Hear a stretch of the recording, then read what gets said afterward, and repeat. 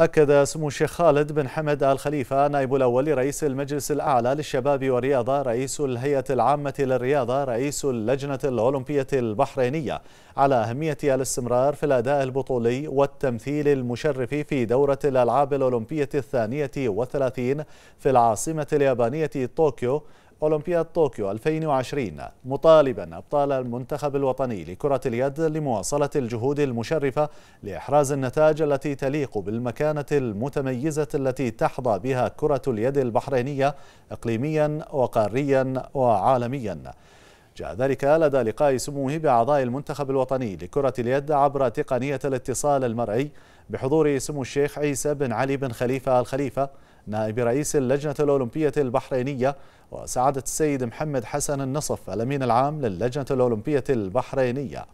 وفي بداية اللقاء نقل سموه لأبطال المنتخب الوطني لكرة اليد تحيات حضرة صاحب الجلالة الملك حمد بن عيسى آل خليفة عاهل البلاد المفدى حفظه الله وتمنيات جلالته لهم بالتوفيق فيما تبقى من منافسات دورة الألعاب الأولمبية.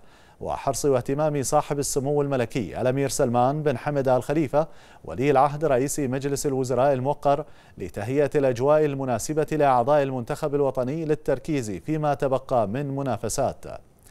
كما نقل لهم تحيات سمو الشيخ ناصر بن حمد آل خليفة ممثل جلالة الملك للأعمال الإنسانية وشؤون الشباب رئيس المجلس الأعلى للشباب والرياضة ومتابعة سموه المستمرة لهم متمنيا لهم تحقيق أفضل النتائج والاستمرار في الأداء المشرف والحرص على رفع علم مملكة البحرين.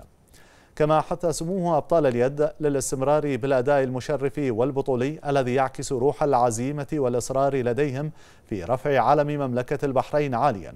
وأضاف سموه عليكم الاستمتاع بالمنافسات الرياضية والمثابرة والانضباط والاستمرار بالروح التنافسية العالية والسعي للتأهل للمرحلة القادمة والتركيز فيما تبقى من منافسات دورة الألعاب الأولمبية.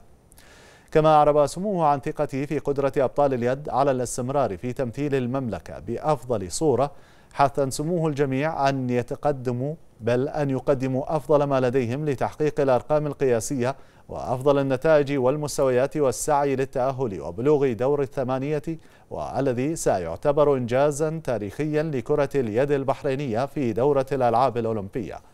متمنيا للمنتخب التوفيق والنجاح فيما تبقى من منافسات دورة الألعاب الأولمبية.